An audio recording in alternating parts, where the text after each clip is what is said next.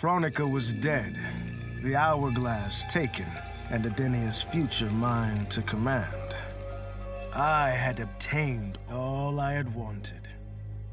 All except that which I had wanted most to know the true story of my parentage. That I was a bastard, I knew.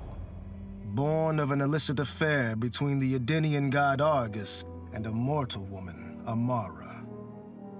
But what I didn't know, until the hourglass showed me, was that I and my mother were both victims. She hadn't abandoned me.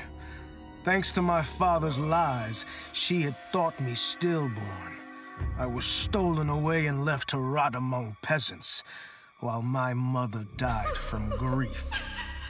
Argus hid his scandal and his shame by killing the one person who ever loved me.